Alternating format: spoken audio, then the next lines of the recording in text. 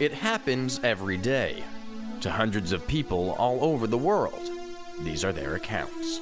I'm Tom Waters, and this is real life stories of people shitting their pants.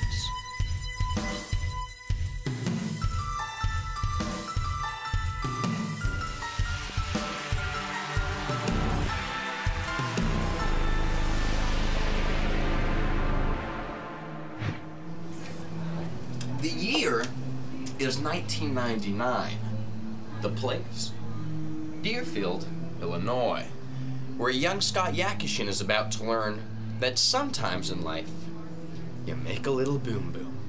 I can remember just about every detail from that day. I was walking to the locker with my friend David. When you're 16 and in high school, you feel invincible. You don't think something like pooping in your pants could happen to you, but I was cocky and I paid the price. What happened next would change Scott's life forever.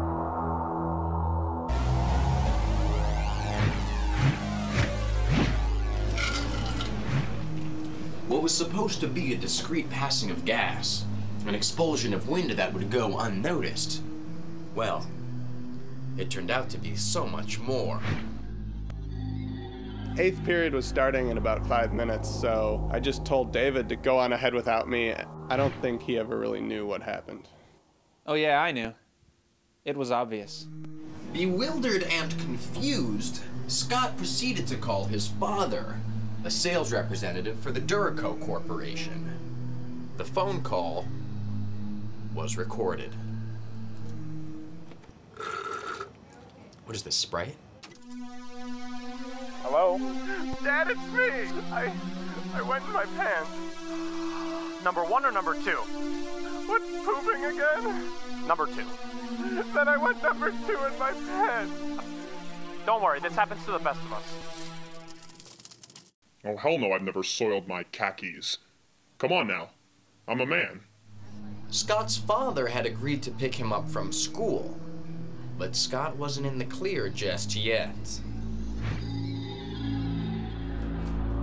Thinking fast, Scott changed from his soiled garments into his gym issue shorts, a decision that, while risky, might have saved Scott's life.